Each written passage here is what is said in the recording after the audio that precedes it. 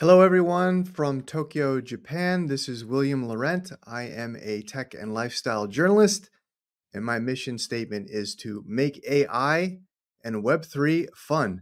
So, today I want to talk about artificial intelligence in music. We want to talk a little bit about what's going on and narrow down on some issues with intellectual property and uh, sort of predict where the future goes for AI, both for the record companies and for musicians. So let's get into it, shall we? All right. Okay. So before we get into the, I think the issues, it's it's important to look at the broader picture of AI music, where we are, and what has happened. I, I would say that are you know seminal moments in the last 10 to 20 years and really, there's three things that stick out that have sort of paved the um, the, the course for where we are right now uh, with respect to AI technology. So it was difficult to, uh, I think, identify um, these landmarks, but I chose three. The first being the uh, computer in 2012, which really shook up the classical music world as it created a full scale AI orchestral composition, ironically entitled Hello World. Um, this was the first time that AI had composed a piece that was performed by a major orchestra. AI had composed pop tunes, it composed plenty of other things, but to have a major orchestra, the London Symphony in this case, play an AI generated song obviously uh, created a lot of controversy in academic circles, but it was still largely ignored by the by the you know broader, I would say, uh, musician uh, community. Uh, and then we had Google's Project Magenta. That was 2016, where they used a much more sophisticated machine learning algorithm uh, to create breakthroughs not only in digital music but also in art. And this utilized TensorFlow. And this is why this is important: is this is a publicly available open source machine learning library that, with a little bit of work and a little bit of mathematical background, um, anybody can really put this to work for them and create create music. And I shouldn't say a little bit of work. It does take a good deal of work, but the point is here that it was it was technology that was largely publicly accessible. And then jumping forward uh, to the uh, last couple of years, we had OpenAI Jukebox, which is a huge, huge, controversial step and uh, important leap in AI generated music, where anybody with no experience in AI, no experience in music, no talent in music could actually produce music that was listenable, that was harmonically and melodically pleasing, that mimicked a specific artist in multiple gen- genres. So uh, that's a look at three things that I thought were pretty important to sort of set the background for where we are right now. Um, what is the problem with all this? Well, there's a lot of problems. There's a lot of good. Um, where you have innovation, you have adaptation. I'm uh, sorry, where you have innovation, you have um, a threat, and then you have adaptation. We'll look at some of that, but I wanted to talk about one of the major threats, right, which is the this issue of intellectual property. Um, and if I can sum it up in one sentence, I would say current copyright laws don't fully account for AI's role in music creation. So let's start from there. We don't have clear guidelines on copyright or copyright law still for machine generated content or content that was generated by AI machine learning algorithms. The issue is that um, you know everything is sort of up for grabs right now with AI created work. Um, the authorship, the copyright, who owns what, um, who's going to get royalties for what. It, there's many things right now that are being litigated. I think there's more. Uh, there are more um, cases that are about to be litigated. I'm not a lawyer, so I'm not going to dwell on that too much. We'll stay high level. Um, but my point is that the existing legal frameworks that we have in the U.S. are built around human authorship, right? Um, and the issue is the lines around what constitutes human authorship have been severely blurred, right? Um, so Is it me creating the piece of music? Is it the AI creating the piece of music? Is it the algorithm, which could be proprietary, right? That algorithm could have a copyright on it too. So we're really all over the place, right? Um, who owns a piece of music when it's created by AI? Now, I don't have the answer. Maybe you do, or maybe you have some thoughts. I'd love to hear. But let, us think of the possibilities. Is it the programmer, right? Is it the actual user of the AI platform or the software? Is it the singer that the AI mimics, or maybe the guitar player in a band or the drummer in a band that has a unique sonic signature? You know, is it the AI algo itself? Um, so we have to look at the recent guidance and uh, what has come out of the Copyright Office in the US. And the recent guidance states works created by AI without human invention or involvement can't be copyrighted. Okay. Um, well, so then we have to understand how much human involvement do we have in that AI creation process and what rights can we assert against it? Again, everything is a gray area. Everything can be litigated and debated, I think, very effectively, one way or the other. So we're at a point now where our fair use and copyright laws need to be revamped. Um, these IP issues, the issues of intellectual property, the issues of who created this, who owns it, um, need to be deliberated, litigated, and formally codified. And that's going to take a long, long time. There's going to be a lot of back and forth, expensive uh, back and forth. It's a good time to, to be a lawyer right now. So, um, my point is what constitutes originality, creativity, and ownership will be redefined. It must be redefined. So, uh, we're headed to uh, really, AI is forcing us to a very new frontier, very interesting place right now in um, copyright law. Okay, on to my next slide. So I want to talk about what's going on uh, and drill into that. What's going on in the last year or two, right? Um, we've sort of laid out what those landmark uh, events were in in music, but let's look at where we are now. So uh, the title of this slide is "Way Beyond Sampling." If we look at the controversies in music plagiarism back in the 70s. There was a very famous case in 76. George Harrison had a top 10 song that plagiarized another song, and that song was My Sweet Lord, which plagiarized the Chiffons' He's So Fine. And the melody went something like da da da da da da da da. And if you listen to the song that Harrison wrote and you listen to the original song, they sound exactly the same, the melody. Harrison lost, and the verdict sent significant repercussions throughout the industry. Um, AI makes this case look so quaint and so simple um, because it, it, it's very difficult now for us to be able to assert that a uh, musician consciously or subconsciously was plagiarizing or or copying right um, the question is now does creating music using AI based on another's work constitute making a derivative work? So, music in the style of someone else is usually not considered a derivative work under copyright law, but there are gray areas there again, too. Um, and then, if we can say that, okay, the work is highly derivative, what constitutes the fine line between inspiration and infringement. So, um, creating songs in the style of a famous artist without direct sampling is something that we've never encountered before. So, I like Billy Joel. I play the piano.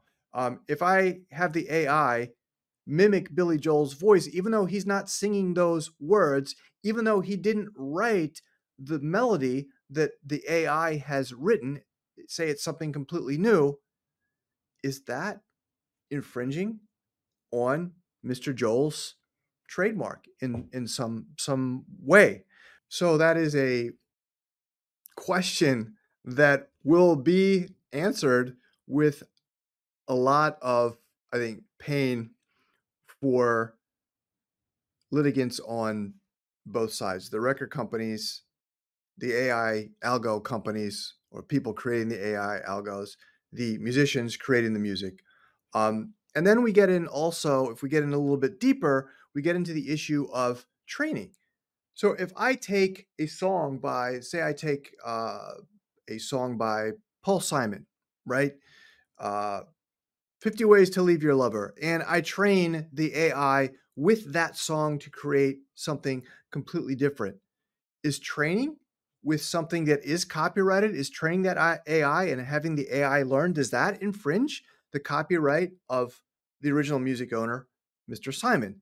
So um, there is a lot to be answered in the short, mid, and long terms, right? Is it only the completed product that we are going to have an issue with that somebody could say, hey, you've violated my trademark, my copyright, uh, or is it the actual training process itself? And then uh, the other question that I have been asking myself is is it really ethical to use AI to mimic a deceased artist's style or vo- voice? Not only does it probably violate the um, artist estate, uh, but um, it could have a a negative emotional impact for fans. Now, um, again, that's very subjective, but I think there are uh, some areas that are probably going to uh, need to be again litigated and and and codified in the law of you know what constitutes uh, infringement and what is fair use. All right, on to the next slide. So I want to talk a little bit about how AI music is created because to understand legal gray areas, we need to understand the actual process itself. Now, I don't want to be too technical, so we're going to stay high level. Um, but the point is here that I have is each step or many of these steps there are places where there are also issues of intellectual property or there could be infringement right? So how much a how much intellectual property is used or consumed create to create an output of a step and an input to a next step? So um, the six major steps really are data collection collecting the information collecting the tune right collecting all the characteristics and all the metadata and all the sounds from the song pre-processing, feature extraction app and classification, which is where the AI says, okay, this is a guitar, this is a drum, you know, this is this is a melody, right? This is an ABCD, right? Uh, actual training of the model, the reinforcement learning where the model is training and it's learning from itself. That's what we call the feedback loop. And then the end is the fine tuning and the specialization. So if we were to go a little bit more into detail, um, the data collection is gathering, I'm going to stay high level here, gathering and, and tagging the information about the song. Um, the pre processing, a lot of times that involves getting the files just into a suitable format, uh, making sure that uh, the mix is okay, making sure that the AI can discern between each line, between each instrument, between each backup singer, those types of things, right? So there's a lot of extraction at the uh, song level. Um, and that extraction also goes to the next step where we classify what these actually things are that we have extracted. Then we go to the training where uh, we feed all this to the AI and the AI says, "Oh, okay, I recognize this drum fill. This is this kind of drum fill. Oh, I recognize these chords. Okay, this is a one four five chord progression, so on and so, and so forth. It looks at chord progressions, rhythms, song structures, and really, really starts to learn, classifies these things, and creates this huge structure, this huge taxonomy. Where uh, think of it as a almost like a ragged hierarchy, where it it makes its own catalog, a glossary of things that it can refer back and cross reference back to. And then those are used in the training and feedback loop where AI, uh, you know, uh, says, okay, here's what I have. And then we tell the AI, oh, well, here's what you did wrong. Here's what it could be a little bit better. And then we just keep refining. So the training feedback loop, loop is the refinement. And then we have the fine, the, the, the fine tuning. So let's jump into the next slide. So I want to get to the controversy that um, we'll get to the the most recent famous one of The Weeknd, but let's get into some some some recent things here. Um, in 2020, Warner Music came out with AI generated music that was uh, at the time also like a, a really big a really big event. It was created by something was called Endel, which created personalized sound environments. Um, the album was composed and produced completely by AI. And the question like, right away that was like people like, who owns this music? Is it the AI? Is it the developers? Is it the label? And it wasn't that controversial as more as it was eye opening. So there wasn't a legal dispute, but the awareness around this lo- looming legal crisis or what was about to happen, that seed was planted. Okay. And then things uh, really got to, uh, came to a head with uh, the Jay Z deepfake controversy. And I believe that was in 2020 as well. I might have gotten the dates juxtaposed on the slides. Forgive me for that. Um, Google is your friend if you want to check it out. Uh, in, in 2019, uh, Jay Z was on uh, appeared on YouTube reciting Shakespeare, uh, "To Be or Not to Be" soliloquy. It went viral, and then Jay Z's company, Roc Nation, said, "No, no, no, we can't have that." They issued takedown notices citing copyright infringement. Although the content was not a direct copy of Jay Z's songs, his voice was synthesized by AI. It was not his voice, it was completely generated by AI. And that sort of got us on the path to where we are now and to where we wound up very recently, where The Weeknd, and that is not misspelled, that is the artist's name, it's Canadian artist named The Weeknd. He's got some pretty cool jams. He had a song, or I should say, AI had a song titled Heart on My Sleeve. The song was created completely with AI technology. It was released on TikTok and Spotify, and it mimicked the voice, the lyrics, the styles of both Drake and The Weeknd, and it was indistinguishable from the original artist. It was so indistinguishable that there were people out there saying, Hey, I like this better than the original artist. I like this. I'm going to buy this. Uh, obviously, uh, the record companies didn't like that. Neither did the artist. So the song was generated by a TikToker named Ghostwriter. Ghostwriter used AI, um, trained not so elaborately, I think, but enough training, trained uh, the AI on the work of these artists. And the track uh, released the track on TikTok. It went viral. It got 9 million views before it was finally removed by TikTok and Spotify. Um, legal action was taken against the creator of the song. I don't think that there was any lawsuit, but the important thing here is Universal Group, who was a label for both artists, did file a takedown notice and the song was taken down. Now, even though there wasn't a lawsuit, um, there was enough, I think, ambiguity and enough fear for the platforms to say, hey, we don't want any issues here. Let's take it down. Okay. So, in closing, I get back to my concept of going from innovation to threat to adaptation. Let's look at where we are now. So, I think we can all agree that AI with the with Web3 and quantum computing in there are posed to completely disrupt record companies. So they need to adapt or die fast. The AI is going to create new business models and revenue streams. Great.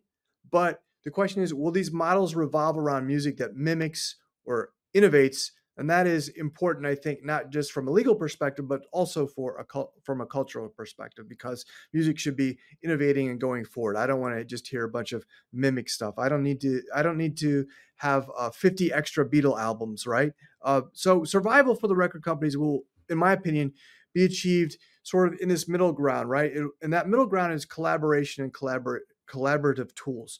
So the example is recording giants cannot stop AI from releasing new records, say by Michael Jackson of the Beatles. Um, but what they can do to grab a piece of this, you know, bonanza or AI bonanza that's that's that's uh, not going to stop is that they can charge others to collaborate. So um, if if they can agree with say Michael Jackson's estate and they can go to the AI company and say, okay, you can mimic Michael Jackson's voice. You can use Michael Jackson's voice, AI generated Michael Jackson's voice in your song, but we're going to charge you for it, right? And that's already started, right? So uh, people will be able to have uh, say Ariana Grande or Grande or Beyonce or one of those artists, do a duet with them in their song and pay for that AI generated Ariana Grande. My question, being a musician myself, is what happens to musicians? Well, good and bad. Everyone becomes Bach, everyone becomes Miles Davis. Everybody becomes not only a great performer, but can be a great composer. Um, I think that's great. Music production is democratized. But my question is always when it comes to AI music, at what price? We lose our shared experience as musicians. We lose our shared experience and all that energy that we've put in and practicing piano, practicing guitar, building our chops. Um, we lose that. And, you know, that's a whole other discussion, but uh, I think that's a very key takeaway. And the last thing is we lose our gigs. Uh, nobody wants to see a bunch of AI robots on stage, but I think the more AI music that we consume, uh, the less possibilities there are uh, as musicians, both live and recorded music, in my opinion. All right. So uh, if you have any questions, if you have any comments, concerns, love to hear from you. And I appreciate everyone's uh, participation. You've been a lovely audience, quoting the Beatles down there from Sergeant Pepper. So thank you again. I really appreciate uh, pre- being here with you today. Thank you.